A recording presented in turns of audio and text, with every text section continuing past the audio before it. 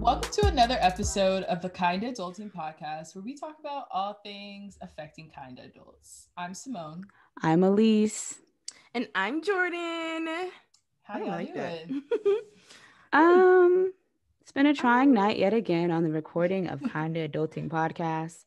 If you guys don't know, we are not professionals and we are trying our best and like we also have jobs and we are tired. And Elise is driving cross country tomorrow due to the fact that her photo shoot is still happening on Sunday, but winter weather wants to come for her yet again. So we are here trying our best. I just feel like when you try to do better, it makes things more complicated, you know. yes. Like we used to just record on this little app on our phone, and then we wanted to get microphones to like be real podcasters and it has been trying. The, how many episodes have we done? Four so far this season or something. Mm-hmm. Very trying. Not gonna lie to you. It has been quite trying. We, I keep on saying each week, okay, next week we're gonna have it down pat. Like next week we're gonna be good. But we are trying. Let's not lie to the Very people. optimistic. I think I think I think I give myself like you know two more weeks. I think we're gonna have it together. I feel like our audio does sound better. I will say that like yeah. much better um than recording on a phone. But child, we not we not in a studio. We also never gonna I'm be in literally sitting on my bedroom floor. We're never gonna be in a studio because we don't live in the same city. So like eventually we're gonna figure this all out. Um, because honey, honey, we are tired. We are tired. But we're not gonna down you guys. But we we're are gonna, here. We've got. I feel like I feel like this episode will be funny. Um, a little oh, shady. funny. Not well, not the whole episode, but there are some pieces that will pop. Yeah. Yeah. The whole episode, you know, we talk about something, so you'll see. So anyway, um, so each week, thank you for that. Each week, we give you guys um, a not so peer reviewed adulting fact or a tweet from Beyonce's internet. And again, don't come for us if the fact is wrong. But however, we got this fact for this week. It says an Allison Partners study revealed Gen Z consumers view cars more like more like appliances, and nearly 56% agree a car represents essentially no more than a means of transportation. Some 70% of Gen Z consumers do not have their driver's license, and 30% of this group have no intention or desire to get one. In fact, Gen Z survey respondents actually ranked alternative reality, VR, and smart homes higher in interest than automobiles. Um, I can say I have a license and I need a car because the reason why I'm so tired is because I've been on this train, tra- I mean, on these trains for two hours going Wild. and two hours coming back for work because it's a pandemic and I can't get a job otherwise. And I waited 40 minutes for a bus that never came. So if I had a car, I could have just been home in like you missed a key hour. detail of that story because she FaceTimed me what like two hours ago. She said she was on the bus and this man got off the got kicked off the bus. So you were waiting for the bus, right? Got I was waiting, yeah. And this man had no mask on. It was all up in Jordan's ear, and she called me as protection, but I don't know what I was gonna do because I'm still in Georgia. But I was like, Jordan, you want me to stay on the phone with location. you? I said, you want me to stay on the phone with you? And she was like, Nah, I'm good. I said, Okay, because you could fight him off of what? With no, your nice wig? Like, what you about to do? Yelling because he was mad about being kicked off the bus. And then he started peeing. It was just like a lot going on. I was like, Lord Jesus, I need to get from out of here. I need to go home. I need to go home. Well, I do feel like this study shows that our pop- our generation is a little brighter than our parents. I don't want to say brighter, but like, uh, you know, we all grew up around people who or new people who put all their money into cars. Like, not saying our parents did, but I'm sure we've experienced people like that. And as we all know, cars are a depreciating asset. And so the fact that our pop, our generation is like saying it's not a good investment, I'd rather invest in like a smart home. Don't know if a smart home's very necessary either, but at least we're not out here just buying these expensive cars just to have them. And like I can personally say, I do not. Well, I have a car at home, but it's not really my car. I don't need a car in New York. And when I do move to a city where I need a car, don't quote me on this because I might buy a nice car when I move. But I don't think I would like die to have one. I would just probably But take they, my. the the thing was talking about people with licenses, and if I recall from my first memory, of all, first of I- all, from my from my memory, I was the first one to have a driver's license out of both of you Okay. guys. And, what that got to do with the point I was making? y'all- and y'all for right some over. reason didn't want to have a license i had to drive myself i had to drive myself uh, towns cities cross borders pick simone up and then take her to high school games because she didn't have a license same with Elise, jordan jordan I- no it was car. only for one semester. That's what I was just about to say. I could count on my whole. Simone, you didn't get a license till two- senior year I could No, count I got it junior year. I said Beyond- I mean, Besides so- that, I could count on two fingers how many times Elise has driven me to a football game because I had someone who lived down the street from me. I used to ride with. my don't friend- lie i would come to your house and we would get ready together and i would drive you at least seven times At least we used to Uh, first of all not counting them. not seven times, but oh, what's funny is you just said you came to my house. You know whose house we did go to? Mahogany's. Uh-uh, someone that we talked about in the high school episode. That oh yeah i she didn't like wasn't her i remember with. i was mad We went to her house to get ready for the football game. and i guess who drove you there elise but you had to be her friend to be excited. To, no, I didn't want to go. She her told she picked you, Simone, because she knew she knew that, that I didn't like her because I asked if she was playing dumb or not. But because I, I don't know if it was an act. I don't know if it was an act or she was for real, for real. Back to the Point. Back to this- and back to not the last Like I was saying. episode. Wait, But also, I don't even remember what my point was because Elise stopped by. damn. Oh. What were you saying, Jordan? Go ahead. Okay, but I feel like who is Gen Z? Because did they see Smart Home, the movie, Smart home, yo. I think or it's Smart House? Yeah, because we were or in whatever between. called. Gen Talking Z about the little millennial. boy, Yes. Smart when the app, no, No. smart home, Simone. It's The- more the movie. Oh. it was a smart home, and then like it started malfunctioning, so it started like messing things up. Like it was filling the whole like house with apples and oranges, and I forgot the whole. Prim- it's scary probably on. Uh, it's probably on Disney Plus. You know they have all the old movies. That movie was so scary to me. I know exactly what you're talking about. Wasn't like a robot wife there too? The robot mom wife came. Like I I don't thought it know. was I- oh, because she was like a, a like um hologram or something. Yeah, bruh. But I think because we Uh, are. but it was like Alexa oh. 2.0. But do Yeah, you guys scared. have interest in like virtual reality stuff and like smart homes? Because I don't think I really do. No, but I also think that we could put in the South and we like. Let's be real. We all like big things and nice things, and I think that's just from just us living in a place that had a lot of space. So I'm like, you know, I should be more eco-friendly. But that ain't got nothing to do with well, yeah, I guess a smart home, but like I'm thinking smart home in the sense of like your vacuum cleaner working on its own. Oh yeah, yeah. I'm a Roomba. You know, I'm big time, so I got a Roomba. eco-friendly.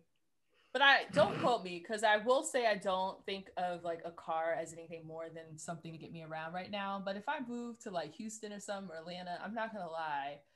Eventually, I'm gonna give myself the car I want. So anyway, we can move on. I don't know if we really talked about that in, in full depth because we we're a little we're gonna get it together, guys. So you guys just stay tuned for our discussion. In the next segment, we'll have our discussion where we try and offer our thoughts on a topic that relates to us being in our early 20s. What's the time there? Mm, I'm gonna merge that track. We are at 9:25. Jordan, can you write down what time I start right now? Mm-hmm. Oh wait,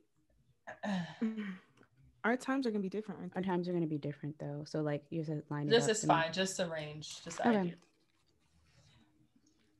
Okay, so before I start this, I just want y'all to know that we did intend to throw a little bit of shade, but Elise wrote this talk track. So I don't want y'all coming for me, talking about Simone, talking about this man. Okay. Simone, why did you call me out? You were the talk track I just don't person of our want this to be team. because look, it's very good, it's very creative, but I don't want y'all to be like, who's Simone? You being real. I need to share the blame, okay? Simone, So I, anyway. the people on Clubhouse said the podcast needs to have roles. Your role is to be the shady one. my role. Okay, okay, y'all, but y'all just okay. So Don't get them. Don't get those church girls on me. Don't get them. Mm-mm, That's mm-mm. what I'm saying. I don't want them because I'm little.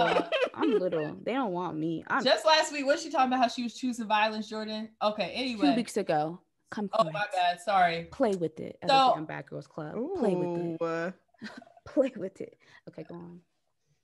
So, un- so I'm sure everyone has seen on social media this week. People took to a little bit of a dragging about the usually viral pastor Michael Todd for a couple of things that he has done, said, did, visually represented.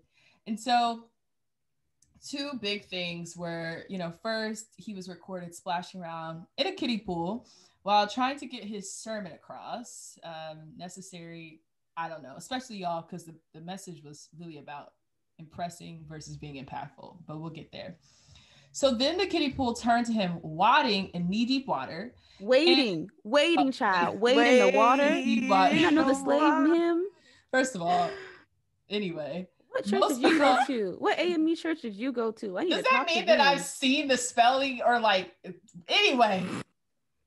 Most people on the internet were concerned that this man was mixing water with electronics, and people got on Twitter and started bashing millennial pastors as extra and too into theatrics other Twitter users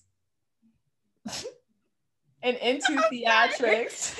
you want to start over? I could try. I don't know. Okay. Come on, get what, hype. What's the time? What's the time, Jordan? 12 something. I'm not tired. I'm just a little blurred in my brain right now. Okay. Get hype, Simone. Get hype. So get as hype, Simone, get hype. Okay, sorry. So I'm sure most of you guys have seen on social media this week people taking a dragging to the viral pastor Michael Todd for a couple of things, really. And two of the bigger things were first him, you know, splashing around in a kiddie pool while trying to get his sermon across, especially because the sermon was uh, focused on being impactful versus impressive. So, yeah. Um, then the kiddie pool turned into him wading in deep, deep water. And most people on the internet were concerned that this man was mixing water with electronics, you know, hazard. And people got on Twitter and started bashing millennial pastors as extra and too into theatrics. Other Twitter users defended Pastor Todd and said his very produced sermons actually keep their attention and help them understand the world better. By all rights, Todd has become a celebrity himself like the man is constantly going viral on Twitter and Instagram, and his sermons are definitely targeted to reach people in their 20s. From the same kiddie pool sermon, he got slack, as he should, for basically calling out people for doing silhouette challenges, like our childhood pastors probably weren't talking about those um, while wearing off white sneakers. But we aren't here to debate Pastor Todd's sermon or anything like that because of because um, we probably listened to him before, and a lot of you probably listened to him as well. But the whole conversation and popularity of his sermon, and a lot of his freaking sermons, got us thinking about how we approach religion and spirituality in our 20s and how we have changed or stayed the same since leaving our parents' house. So, first, I was wondering what you guys' you know, spiritual or religious life is now that you're in your adult life. And what things have you guys kept from college? And you know what have you stopped doing? How would you describe your religion right now? Um i will say so i'm a christian. Um go to church. Uh yeah i feel like i mean i guess i'd say like I think taking it back to like how I was raised. So I was raised like went to AME church around the corner for a while, my neighborhood church. And then my parents say, I um, they can debate this later on, but I swear that our pastor told everyone that we were we were all going to go to hell. So then my parents left, and then we took us to this mega church that I swore, oh, I swore this church was a scam from the second I went there. I swore it was people were always moving around. I went to church for like seven years. What do you mean moving around? Like the the employees, like the pastors would always like the head pastor was the same, but like all the people underneath him would change like every six months. It was really strange. It was a big mm-hmm. church though. It was like near Cumberland Mall. If you probably are from Atlanta, you probably know what I'm talking about. And it was definitely like casual. People wore jeans. Um, it was like a, it was actually a lot of production you know it was like very much like a business. They would give you outlines you walk in the door you would fill out the outlines. But i went to church for seven years my parents say their excuses excuse was that um, they wanted to go to a church that had a better children's program for my brother and i. So we started, going there um, for about seven or eight years and i met nobody there. Like i don't really think there was a community. Like I, we went there each sunday. I was I, I had to go. It was not a choice in my family to go to church. You went to church because you live in the house. And that was that. I grew up in a black Southern family. So I feel like it's kind of a thing. Like people just go to church. Like it wasn't really like a, I don't know. Like, uh, yeah, it was kind of a thing that was just like you did. It was like a chore per se. Like you went to church. It wasn't a choice. You didn't, you didn't say like, oh, I'm not, I don't feel like going to church today. Mm. Um, well, before college, um, I was raised Christian. Um, I just I wouldn't say we were always going to church. I feel like we definitely went to church a lot more when my grandmother was alive. Um, after that, it kind of fell off. Um, but my parents still try to keep me involved with it.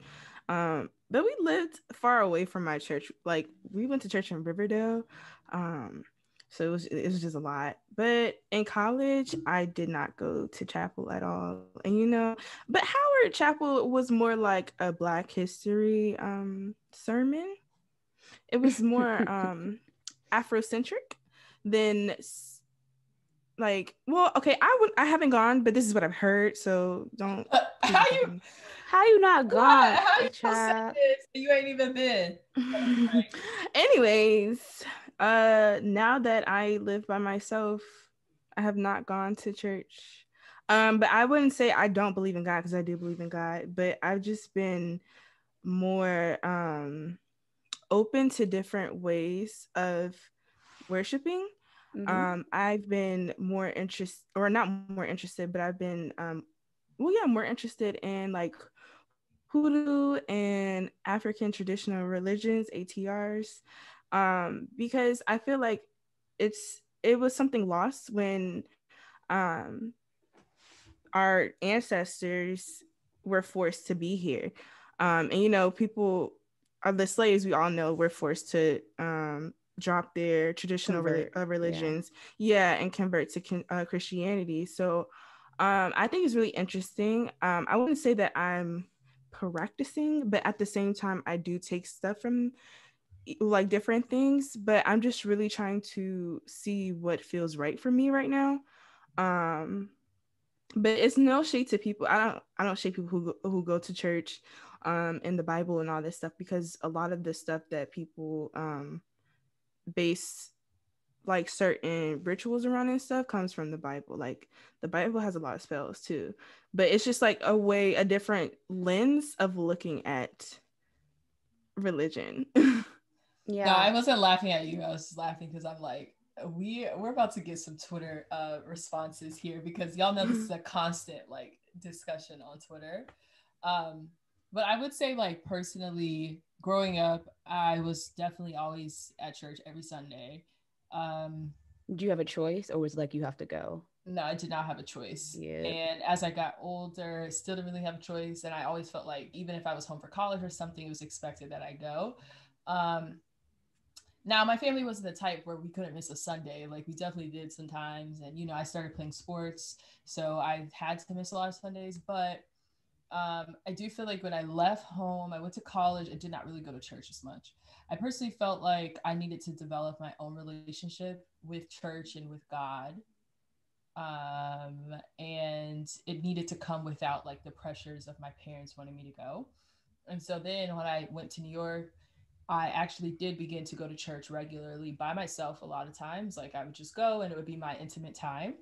And I feel like my relationship with God definitely grew a lot. And my commitment to being present in church definitely changed because I think in college or, you know, college or just being home with my parents, I was just going with them.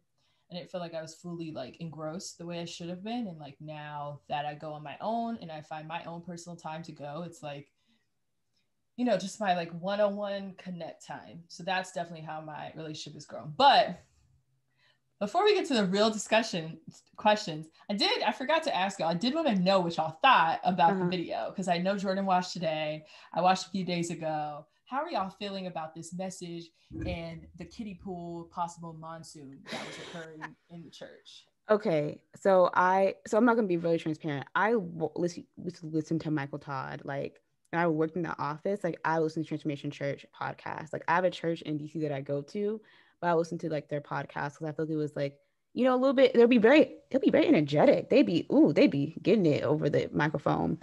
But I watched a sermon and all I could think about. So I'm talking specifically about him being in the water. I'm not talking about the silhouette challenge, but it's the water thing. The whole time I was like, if he was a woman, he would have a yeast infection. He just sitting in stale water like that. Shut not up. Not with jeans on, at least. Not with jeans on. Shut you gotta up. sit in the water there. You said that earlier, and I was so confused. I was like, no, the whole time I was thinking about, I was like, I hate okay, I, I just don't like sitting in wet clothes. Like you know, you go, you go to the pool and then you put you like put like when you're little, you put your clothes over and it will still be kind of wet and you'd be like, Ew. That was all I thought about. I said, Is no, he okay? I just keep going about my day. Isn't he mm-hmm. isn't that is aren't the clothes clinging to him? It was just sitting in water. And then when the knee deep water came, the whole thing I could think about was how they get that water in that church. Is it was there a hose? That's a lot of water. That was a lot of it water, was, and I think it kept running. Mm. It was, and who was it? Fresh water? get rid of the water. Did they just come in with a vac and suck it all out? Like they do have water vacs. That is the thing. But, but the question: How much money did this cost? That's only thought about. I said, where did they get the water from? That's a massive water bill. My water bill was twice was two times as much it was last month, and I wasn't even there. So what was their water bill? because and again, aren't you uncomfortable? Does he maybe maybe you had waterproof underwear on because I would have lost it. I couldn't have done it. I would have been like I would have had gone to like a full body dry or something because it was really stressing me out. But to the actual words, I couldn't get I, the words. I couldn't. Yeah, that's what I was about to say. Because like, the water was stressing me out too much. I do think he sometimes. Was he wearing shoes in the deep water? Was he wearing socks? Yes, he was. He was oh, wearing like sneakers. He must he be. probably had those like water strong. shoes on that you wear in the pool, but I do think like some things he says, like I definitely agree with, but then sometimes I'm just like, uh, I don't know, like, and I definitely think you had a point when you're talking about how our, I mean, now my old pastor, he did mention Beyonce one time, but like Beyonce's Beyonce, right? Mm-hmm. Not in the way that Pastor uh, Todd did, but I do feel like our pastors would not have mentioned something like the silhouette challenge because it's like. I saw somebody on Twitter who was like, "Well, how does he know about the silhouette challenge? Like, has he been watching?" And it's like, but for real though, you know, like, well, I, I, think- I respected his point, uh, telling men to be more impactful, right? Like, I really appreciated that because I feel like what we talk about a lot is like social media changing, you know, how we are with relationships and stuff like that. I really valued that. Like, do for your wife and don't do for the gram of your friends. But then he kind of lost me. And then, like you said, when the water started flowing in, I wasn't sure if he was going to be ripped, to, ripped, away by a, a, a rip tide or, you know, whatever. Like, I didn't know if he was going to make it. He could have drowned. The water just kept coming. What if they? That would have been a mess. Too much. It was too much. Were there lifeguards? And then when I realized he was kneeling, when I realized he was kneeling in that kneeling water, in it. Yeah. Stood up. I said, "Oh wow." Simone, Simone. I think about Michael Todd. It's so messed up. Simone, Simone messed me up. I remember one time Simone DM'd me a picture of Michael Todd, right? And I said, Yeah. She said, Why he look like that? I said, Simone, what? I said, I, I said, whenever I listen to his podcast, I thought she was talking about his sermon. I said, Oh, what about the sermon? She said, he, he always talks about that type of stuff. She said, um, I mean, no, I mean, like, why he look like that. I said, Simone, you have scarred it. Now I can't listen watch the video. I can only watch it to the podcast. But I always hear Simone's background in my head. Why he look like that? I'm like, he want to be fashionable. He want to be with the he want to be with the children, like the girls say. I've I've never um I've seen his like videos come across my like stories, edgy stories, because yeah. people like repost them, but I've never like listened to one. So that was kind of I did listen to one, but I mean I don't I don't expect um I won't say I don't expect much, but I don't expect there to not be like misogyny and uh, um homophobia well, we'll talk about misogyny because like I didn't talk about that. So talk about misogyny that about the silhouette challenge. Yeah, because I mean, it was very light right there, but just in general, you know, with like Christian pastors, like they do put a, a big emphasis on like not being yeah, like being modest and not being a certain because you won't attract the godly man and all this other stuff. But also, who's impregnating those people? Yeah, you the have to think it's all y'all going on this tangent, so, child. I have my it, questions ready. Y'all going on this it is, but you have to think. Well, listen, we got feedback saying we need to be longer, so we try to give them. Child. But this is a valid point, though. Like before we move on, I think we talked about this last week with like Chloe and some of the comments she was getting as well, right? Like modesty is rooted in like you know this patriarchal idea, which is misogyny, like and we're going to talk about this like elise is you know planning to get into this a little more but when you grow older mm-hmm. and mm-hmm. you're in this generation for one right but as you get older as a woman you have to like be able to discern what is me being a godly woman and what is someone trying to have control over me come on pastor simone how i behave oh shut up Come but on. like because we're not like I don't think I was taught by my parents per se, but you're taught like if you're not behaving this way, if you're doing those things, like you're not godly. And that's not that's not how that works. And women are not the only ones who should have this like weight to bear because men should be if we're going to teach women this men need to be taught the same thing right like it's not a one side one way yeah yeah yeah Yeah, no it's really true and i think about now honestly talking about us and i think church like we're kind of skipping around questions but i think my idea of church and like religion was really challenged in college, right? So like when I went to college, I went to UNC Chapel Hill. For those who don't know, half my a lot of my friends that I met were not from the South, right? And I think growing up in the South, like everybody goes to church, like everyone does in Atlanta. Like you may, may not even be religious, but it's kind of the thing that people do on Sundays. People assume that you go to church, right? Or you you go to you have may not go to church that day, but your family has a church that if, if it's Easter, they're gonna be at. And so when I went to college and my friends kind of weren't like that, I remember Easter coming up and they were like, okay, and I'm like, I'm so sad. I'm missing Easter. Like, I'm not going to be home.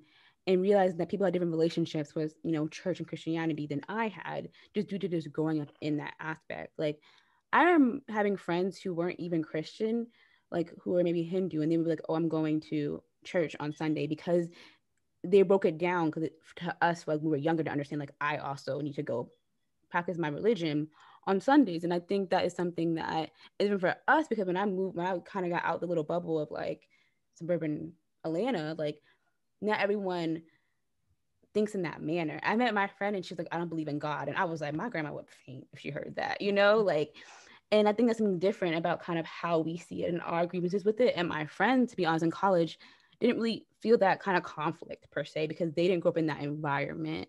And that's kind of where I met people who things that kind of had to question my own kind of, you know, prejudices, not like unconscious. Like my friend said she was like was like an atheist. I was like, oh what? You know, like I didn't say but I said out loud, but in my head I was like, this is different, right? Or when she was like, I don't believe in God, like I was like, girl, don't say that around me. You know what I mean? Because it's different and different for me. And I'm realizing that like, you know, that was a growing period to understand like not everyone goes with the Bible Belt.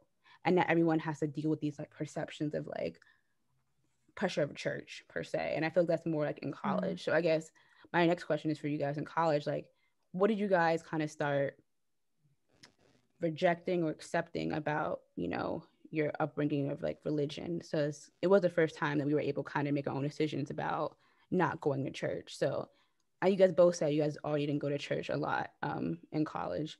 I started going a lot my senior year by myself, but I guess like you had so many similar stories about kind of maybe rejecting or changing some things about your religion once you kind of broke away and started college?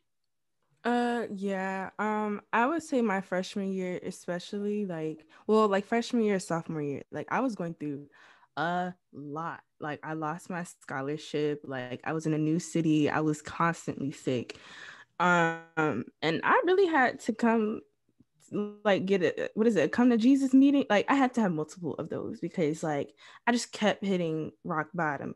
And it was just like i i have no one else but like god at this point because like at this point i'm out like i feel like i'm about like dead like not dead like i'm gonna kill myself but in the sense of like everything was failing for me. And i had to really like find strength to keep going um, and to keep like pursuing my dreams.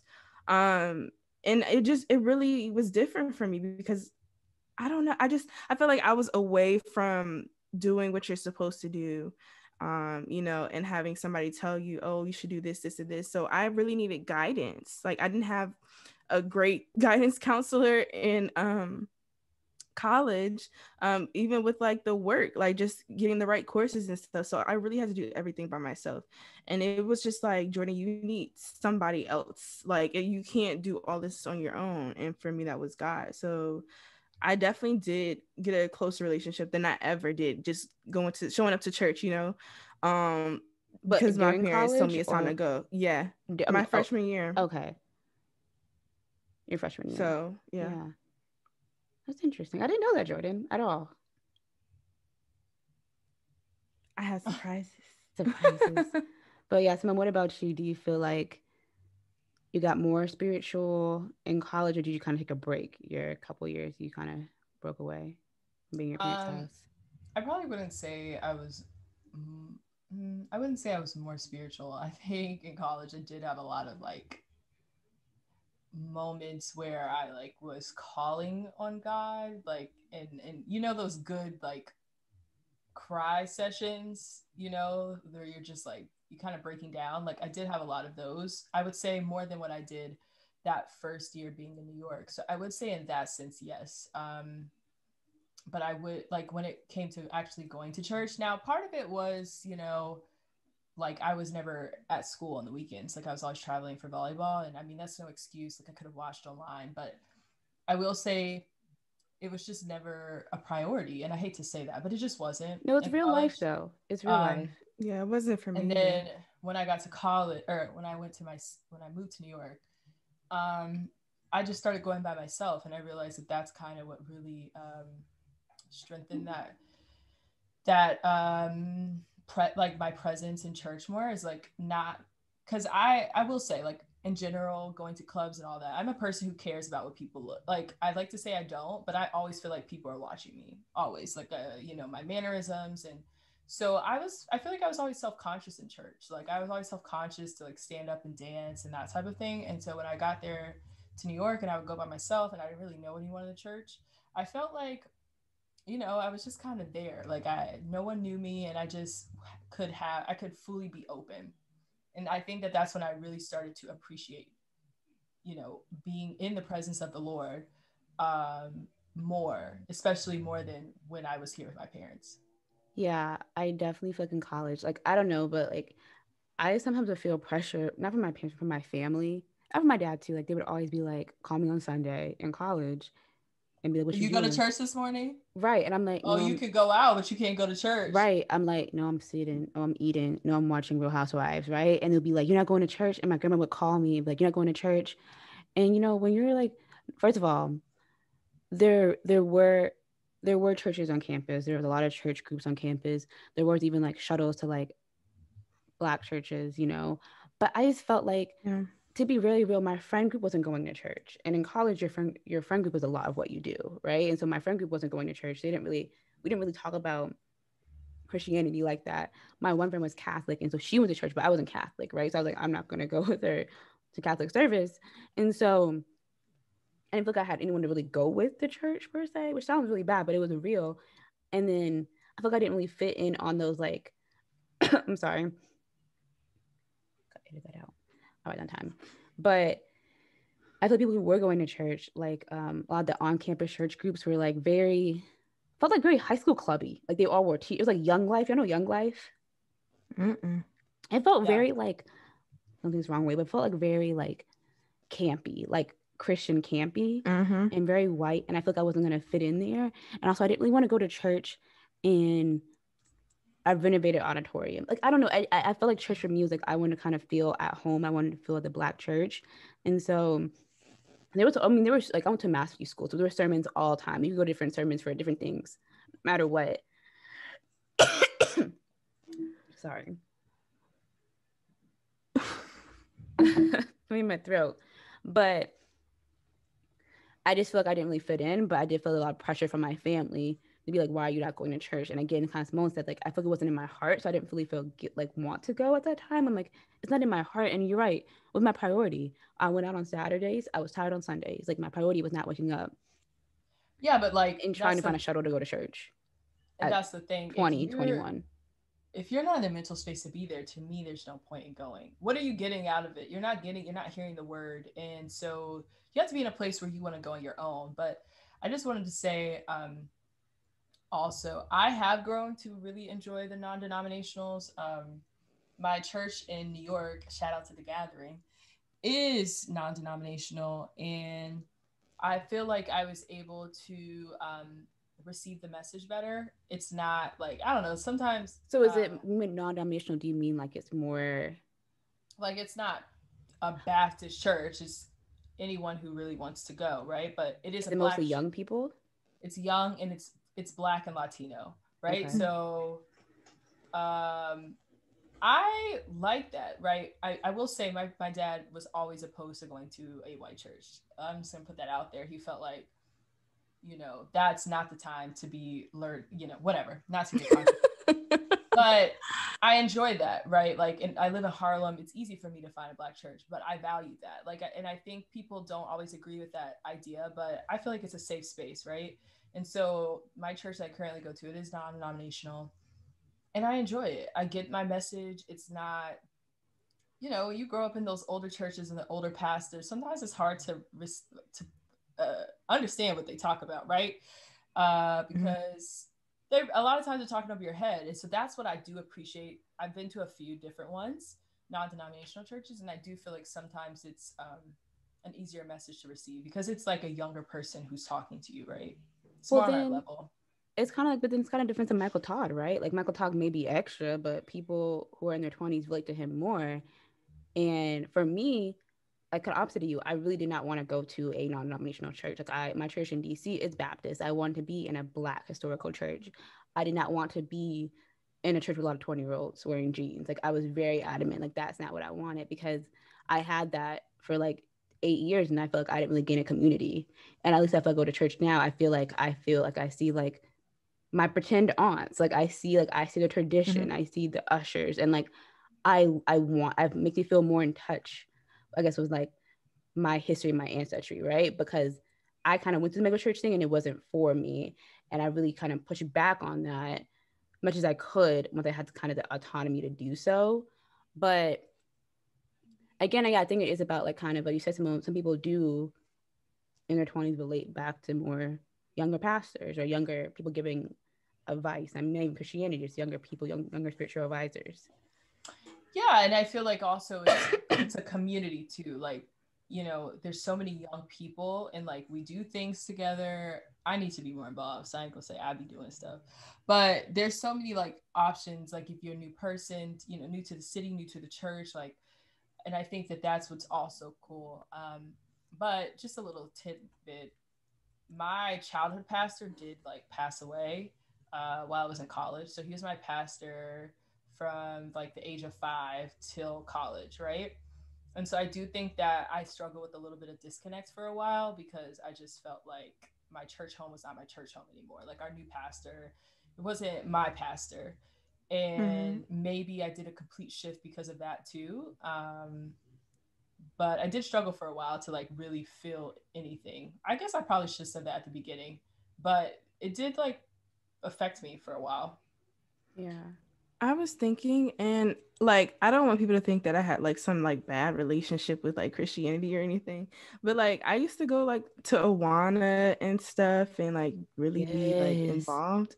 Um, and my pastor, he's like great. Like, I love him. Like, he knows my name. Like, it's a big church, and he's just like, oh, hey, Jordan, you're back. Yeah, I am. But, um, and he does he's not homophobic he's not misogynist he's always just like you know he's always incorporating that in his like uh sermons and stuff but for me it still didn't feel not right but i just didn't feel called to go you know? I don't feel called to do it. Um like things that i do now um i have an ancestral altar. Um, Tell us so more I, about that, Jordan. no, I think it's a good point though, because like no, it is a good point, but it's just, Jordan just makes me laugh and like I, I think I'm just talking because there's like, other things there are and Christianity. I'm not, right and I'm not laughing. I, I don't want you mm-hmm. to think that I'm laughing at it in no means. Like I, I definitely respect all religions. I, you just make me laugh and like your water cups and stuff. Like I don't know. It's just but it's it's you have to think like that's probably just a little bit of immaturity on my part because I'm like that's it's funny, but like I understand that it holds value. But yeah, it's different for us to, because yeah. So I don't want you to think that I'm laughing at you. No, no, just, I didn't think that. But yeah. yeah, I'm thank you for making that clear. Um, so yeah, I have an altar set up for my ancestors. Um, basically, uh, you can start it yourself. It's with like a cup of water, a white candle is really all you need. Um, but you can add more things to it, like um, a knife or a sword for protection, um, incense um for well you can do like the basic elements. So water for water of course um a candle for like heat um the incense is for air and like a plant for like earth right? So um i have all those things and um i just have different um little memories that remind me of my ancestors that have passed away. So like i have my grandmother's ring um and like on it and stuff and like i have different other things too. But basically i really i pray. Like it's no different from uh, praying yeah, as a christian. absolutely. but it's just you have a face you know? Like you know somebody mm. from like your past like that you knew when you were alive and also like your ancestors from way before too. Um and i you y'all are probably gonna laugh at me again but i it's I feel it. Like I I hear something back. You know, like I I pick yeah, up messages. I don't think that's something that's funny because it's the same thing as people seeing family members who have passed or uh mm-hmm. you know having their spirits come like that's you know that's what you're experiencing so yeah. like I, I say that because yeah. you know this is a constant discussion like on Twitter. I don't know if you ever see those or they talk about you shouldn't be embracing your ancestors, but like, oh really? Do you think? Yeah, it's been a I've seen. Yeah, it. a lot of people yeah, don't really. think that. They don't. Yeah. They don't think it's Christian at all. But I do think, um, like you're saying, we, and that's why my dad always was like, you have to be in a black church, right? Because I do think in some ways, some of our beliefs or our rituals and practices were you know either removed or watered down right to fit into this like mold of christianity um which was not rooted to respect like what we believed in right? Like it's just mm-hmm. erase your stuff and you you convert. But it's the same thing as like your parents telling you that your grandmother's watching down on you. And so yeah. there's has to be like a level of like these are my beliefs but like i cannot just outrule that right? Because personally, I know my grandmother's watching down on me and my grandfather, and like I've lost a, uh, probably a lot of family members, I would say, but like they're all watching down on me and protecting me. And I believe that firmly, you know, and even though some people might not believe that that's very Christian, that is my own, you know, discernment there. And, and that's what I was kind of getting into earlier. It's like we just have to like, you know, rule some things is like maybe this is like more of a social um, I don't want to say social construct, but like our own interpretation of something that mm-hmm. of how things are supposed to go. Yeah. And then Jordan, I wanted um, to ask but, you. Oh, go on. Oh, I was going to say because like I know a lot of people struggle with saying like I don't know when God is talking to me, right? Mm. Like I yeah, can't I hear do. God. I don't know what He's me supposed too. to be telling me to do. Like that was me. Um, now I literally set up situations where I'm just like, this actually happened to me too. I was like, I don't know what I need to do for this certain situation. Like, um, if it's supposed to be this, if I'm supposed to do this, um, show me like the word dragon fruit somewhere. You know, some word that I wasn't gonna like see for real. And then I was like, if it's mm-hmm. another one, I did three different options. It was another one, it was gonna be passion fruit. And then if this is another one, it's supposed Are to be they guava. all fruits? Are they all fruit? but I wrote it in my prayer journal, right? So and then I started a prayer journal. I never started a prayer journal, but yeah. I've written down my stuff and I realized it is coming to life. So I need to like recognize yeah. it. But I wrote it down and I promise you, I promise you, 20 yeah. minutes later, I picked up an old receipt from like two weeks ago. Uh-huh. and it had a dragon fruit refresher from Dunkin' Donuts. I, I never. I you bought a dragon fruit. I said, Jordan, what in the world? I've never from? gotten that before, but that day I was just like, I'm gonna try something different, and I completely forgot about it. But I was just cleaning up my room. I picked up a receipt. I was like, what is this? And it had dragon fruit on it. So I was like, okay, well, give me another one just in case, you know. and then I walked in a random Target, and you know how they have the different like drinks on display. Mm-hmm. One of them was the dragon fruit one, and the other one was like a kiwi. So it, it didn't have no passion fruit, and they always had passion fruit or guava. So I was like, okay, I'm gonna keep doing. I'm gonna do because that was what I was doing anyways. But I was just like, is this the right path for me? And I got my confirmation. So I do think, Joe, when I asked you though, is like, do your parents like who taught you about like doing ancestor altars and like do your parents do ancestor altars? Like who like who like who where'd you get that from? Like where did you start doing that thing? Cause i know like you, you, do other stuff too like who told you to do the moon water? Like where did you get that from? And like when did you start that? Was that in college? Was that like after college? Like when? Um yeah i think it slowly progressed from being into like astrology to like learning different things that were so-called like not christian or not based yeah. in god you know? Um so i really i had to figure that out for myself um especially learning so much about like christianity and like the history of it you know not necessarily what well some parts of what they teach but like the history of it too um as black people like it was really shady to me and i'm just like i don't understand how this like the hard questions like i don't understand how this is able to be a thing if God loves me, you know, like I don't understand how like it's supposed to be 400 years of slavery and then we still haven't gotten really over it, you know. Um, but it was just like I had to go out and seek it for myself, but that brought me closer to God. Honestly, me going outside of religion, well, outside of Christianity and saying like, "Oh, I don't know about God and all this other stuff," brought me so much closer. Um, and with this, I still believe in God, you know. Um, but no, nobody from my family taught me about anything like this. I learned it from Twitter, but I just yeah, follow different. Point, though. I follow different priests, priestesses, priestess. How do you say the female priestesses? Priestesses. priestesses. Please forgive me, but like I follow a different, like a lot of different people who practice different religions. Mm-hmm. Um, and you know, I just kind of do what I feel called to do, but with that, it's still a religion. So it's not like you can just like halfway, like half ass it basically. So what I'm doing right now is really trying to figure out what religion I'm called to. Um, but mm-hmm. like hoodoo in itself is just the um African American um like African traditional religion um religion. That's the one that um our ancestors brought over with them um, which voodoo is what people are more familiar with, but that's more like Creole and Louisiana and stuff like that. Hoodoo is just like basic, not basic, but more widespread. Mm-hmm.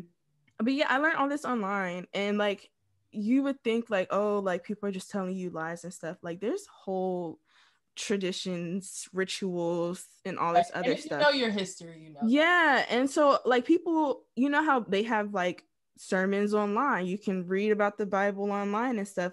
I follow people's uh, Patreons and I read about the things that they've been taught and stuff. And a lot of it's like oral history, but you know, for Black people, we didn't. I mean, we did write stuff down, but oral. most of our history is oral. We uh, we didn't even know how to really write for majority of us for you know 400 years we literally were not not 400 years but you know what i'm saying yeah we literally and and even to this day there are so many black people who still are not capable of reading and they writing are. to a certain level, right? So yeah, you know, there are so many things that have been erased, and I think it's important for you know people like you, Jordan, to go back and like dig some of these things up, right? And and share these things because these are this is our history. This mm-hmm. is like, you know, traditions of the past and, and present too. But like it's important for us not to just like erase those things and just rule them out as not being Christian or godly.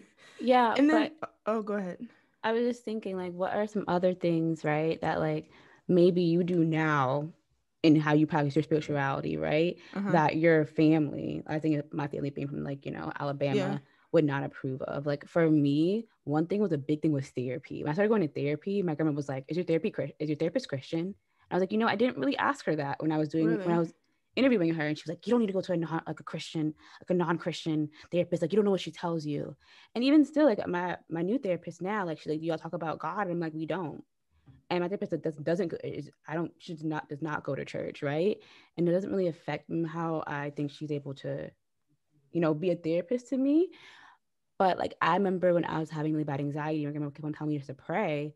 Oh yes, I was actually gonna add that. To be very honest, I was just like, "Hey, listen, that's not really helping me right now," and she would get frustrated. And I understand because you know, from the South, you know, Alabama, like I would meditate a lot. Like that's what I got really good, really, really good. I feel people don't know at hypnotizing myself. And that's something that I kind of had got really into and really well my senior year because I was having horrible anxiety attacks, right? And I had to find a way to like meditate to kind of take myself out of it for a second, take my body away from it. But just like Jordan, like is like in Simone, like what are the other things that you may do now that your family may be like, mm, that's not what we do. Yeah, I was gonna add to that. Yeah, you said it, but I definitely think like there have been on there have honestly been moments where I have called um my parents and like been in a really bad like bout and my dad would say you know have you been praying and it at first like when i first started dealing with that in college i would be really like offended because i'd be like same, bro. I mean, I mean, this is something's going on. And I called you. I did pray, but like I'm still sitting here crying. What am I supposed to do? I I don't know, you know. And my mom and I have had to kind of like, you know, re uh what is the word? Bring that in a little bit, in in the sense of like explaining, you know, uh, depression is depression, and you can pray about it, but it doesn't just wipe away the depression. Like sometimes you do have to get to the root of the problem. Sometimes you do have to go to therapy. And like you're saying, that's why half our families are jacked the hell up right now. Like they got issues. People, yeah. you know, especially black people, but I think that that's rooted in, in, in religion, honestly, of why they don't go to therapy and stuff. But we have to like, that's one, that's an example of something we've had to decipher as a younger population. Like our parents you know, people always say they're like, it's really interesting when you realize like your parents could have used some type of therapy, but like mm-hmm. it's real. And we've had to realize, okay, I can still be a good Christian and go to therapy. I can still pray and get treatment for my depression. You know what I'm saying? And so yeah. that's like the clearest example I have because I don't think my parents were too um, down my throat about certain things like when it came to religion, but that that's something that's always stuck with me. Um, for me, well, I haven't told them that I have an altar.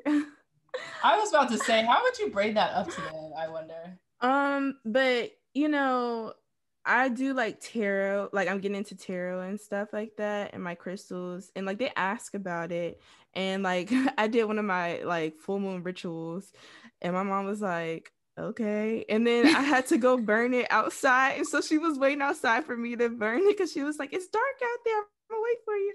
And then like one time I told her I was uh fasting spiritually, and she was like, okay. You know, I think I think she's just glad that, that i think that's more normal though. Versus but not for us though. We don't fast. No, but for your family. Yeah, yeah I think you don't fast and stuff like that. Family. I was just saying, like, I, mm-hmm. you know, and like in the general sense, yeah. yeah.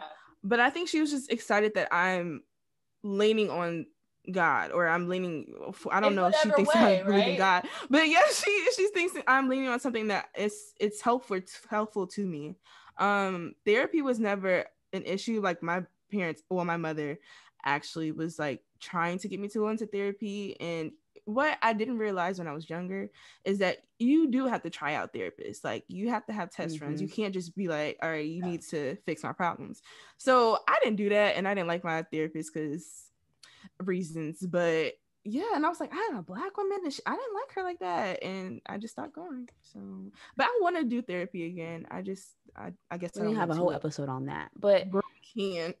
but uh, yeah, I do just feel like you know, like, as we go to our last question, like I don't feel bad about not being more spiritual or more religious in college. That's just not where I was, right? this is not where I was. And to be very frank, like it's because like something happened and I had to kind of come to that because I had nothing else to lean on. And still, I will say I still struggle with like finding people to share it with per se. Like I go to church by myself a lot of times. Like I had a friend that would come with me, uh, but she just moved. So when the world does open up again, like maybe go with her. But I I would say like now I I kind of go in bouts in and out per se. Like I think sometimes I have to be called to it and I want to be better. I want to say I'm going to be better. Um, cause I find myself kind of being how I was when I was younger, like in college, being like, eh, like maybe sometimes, like kind of like picking and choosing. And I think that's, I think the guilt sometimes may come later. I think the guilt was just from like family of like being young and being like, okay, you're an adult now. Like I, my excuse in college was I was studying. What am I doing now on Sundays? I'm watching Real Housewives. So yeah. Yeah, but also I meant to say this earlier. I do think it's for me. Uh, I was going very strong for a long time, and then when COVID hit, I was still watching every Sunday, and then it slowly just tapered off. And so I think that that's also had effect. Same. But uh, to finish it off, I do think this this definitely could use a part two.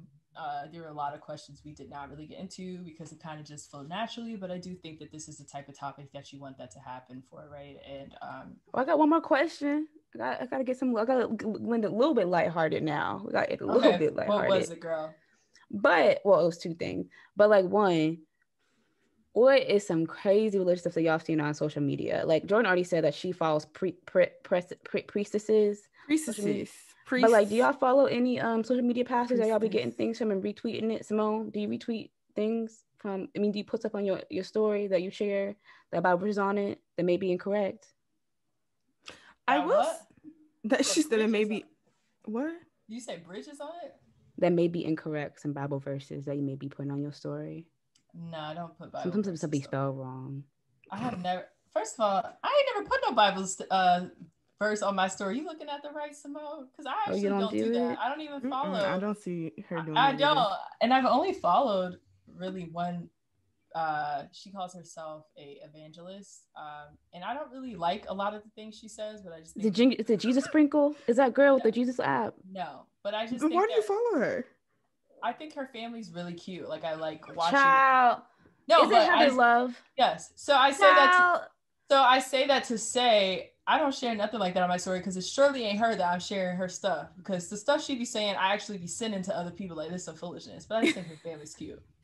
I was about to say though, like people definitely do like spiritual things and they don't even know it. Like I know some black people, they don't um they burn their hair, like the hair that sheds from their um head, they burn it.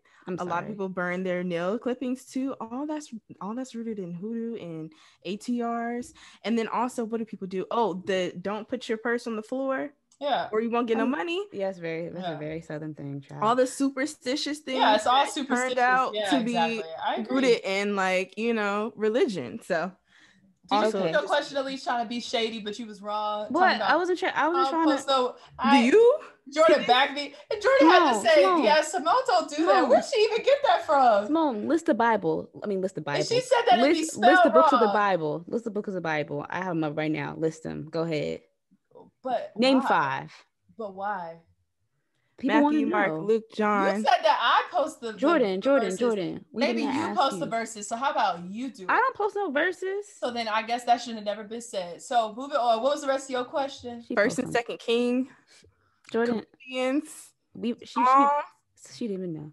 Um, she didn't know. I mean, um, what is the funniest? Okay, I'm in on a light note. What are some funny stories of us growing up in the church and seeing things or things that were funny?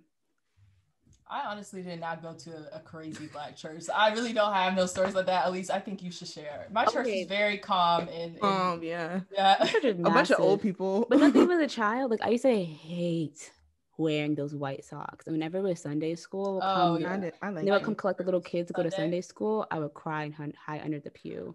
Oh yeah, I did. I, did I stayed argue. in regular church. I didn't go to. I hate. I don't want to those kids. I want them. Mm, I don't want those kids. I did used to fight with my mom about Easter dresses after a certain age because I felt like it should be cuter and not a fluff dress. and we did have an argument because she was like, You're simply not old enough. Like, you don't get to wear those multicolored dresses like them older girls. I need you in your white curly socks and the black shoes, you know? I did experience that. I will say, as we end, because we're running late, but I remember going to my mega church in Atlanta. They rent they they remix some Trey Songz song. Oh, they remixed "Only Girl in the World" Rihanna to "Only Jesus in the World," only only only God in the world. But it was the same beat and same song, and they went viral on Twitter. And I was like, Lord, I'm gonna look that up. I don't know where you used to end up, girl, but it's not like Jordan. And I. But I mean, normal church. I mean, does does the gathering in New York not do hip hop songs? No, we actually don't. We just y'all do, sway, y'all sway together and hold hands. They do not sway. They y'all just sway. have their Jordan own music.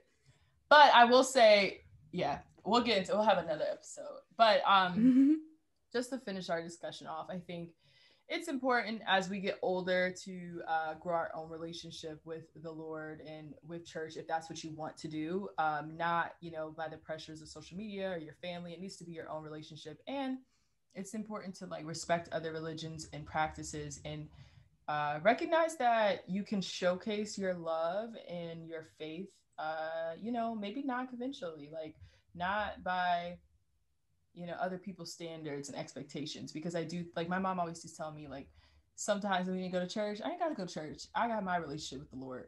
And that's really what it's about if that's what you choose to do because again you know we have other religions we have you know people who don't believe in god at all and that it is what it is like it's not you know something that you have to do or you should do just because everyone's telling you to like just make it your own so that's that on that and then we do have a listener letter that we are still going to do because we try to give y'all the fun stuff. So you guys stay tuned. This week's listener letter is from Shady Boots, um, giving a shout out to Elise tonight. Um, but it says, Hey ladies, I was invited on a birthday trip with a group of friends next month, and I'm conflicted on whether or not to go. My best friend invited me, and although I'm close to her, I don't really know the other girls in the trip. I love her dearly and want to celebrate her day with her, but COVID. I have no idea how cautious these girls are being in their everyday lives or if they are out clubbing every weekend and refusing to wear masks. The number of cases are high and the death rate is too. I'm trying to stay home and take the safe route, but here's the catch. I already told her yes when she originally asked me. This was before cases skyrocketed, and I already bought my flight. I wanted to celebrate her day, get dressed, and be fine, but I also want to protect myself. The closer the date gets, the more uncomfortable I am with going. Would I be wrong for canceling on such short notice? I'll take a flight credit versus being exposed. And don't forget to submit your listener letters before we answer Miss Shady Boots. So, what do you guys think? Submit on where? Oh, at tinyurl.com. Or slash, slash KA letters. right? Slash KA letters. Yeah. A lot. Good job, Jordan. Let's answer this question. Um, uh, I do not think that you should. If you feel in your mind that it's going to give you a level of anxiety, don't go because I do that a lot, and then I don't feel I don't have a good time. Right? Not not COVID related, but sometimes I'll have anxiety about things, and I'm like, well, I need to go support my friend and be there. And sometimes you going, just you're gonna have a bad attitude, right? And or just be not on edge. So, um, I think I think I think the best way, honestly, to not have your friend like be upset or anything, and just be real and just say, hey, listen, COVID kind of scares me. I don't know where I'm going, and that's why I don't want to go. Now, how you make people mad if you just saying, hey, girl, I, I just don't feel up to it anymore. And you just disappear and say nothing. Like you need to have an excuse, and you have a perfect excuse, which is COVID. But say something because I'm not a friend. If you say nothing and just say, oh, you know, I don't feel like coming no more, I'm gonna be like, girl, what? Disinvited ever again. So just explain, and I feel like it should be fine. Yeah, I think COVID gives everyone the perfect excuse. Perfect really. excuse. But um, I think with the current situation even more, if you're gonna be on the trip, stressed the whole time, somebody accidentally coughs on you, breath around you, uh, touch your laptop. I don't know. There is no reason to go because that's a whole trip where you're just gonna be paranoid. You're not gonna be comfortable. You're gonna be anxious the whole time, and you know, I wouldn't want to be feeling that way, especially like out somewhere on a girls trip. Like that just doesn't sound fun to me. And like you said, you don't know, you know, even with even with going with a small group of people that you feel like are taking the proper risks, you simply do not know. And so if you can't even feel comfortable in saying, "Oh, I think they're doing the right thing," then I surely would not even attempt to take the risk. Yeah, I agree. Um, but you said like it's getting closer and closer. Like I know you said that you're okay with like losing your deposit, but if they were kind of dependent on your like True. hotel deposit too, then I would say you should at least give Contribute. up a little funds, a little yeah. song, song. Be like, I'm sorry, it's too late. I mean, like it's late in the game, I know, but I would definitely say no to not going. Um, yeah. but I would say at least consider to give them something. Yeah, I think um, they may like decline, but you should at least, I feel like, offer it.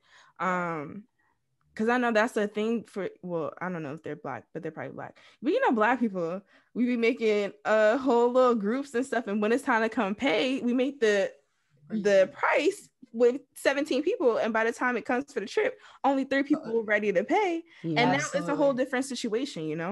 And that's when people so, get irritated and get yeah. mad at you. Yeah, I definitely yeah. think if you approach it of like, I'll pay my piece instead of just like taking your flight credit that will help as well if they're you know if if uh, money has already been paid or like you know you're mm-hmm. calculated in the final number you should definitely offer that at the very least um yes or find someone to replace you i don't know if you have other friends but go.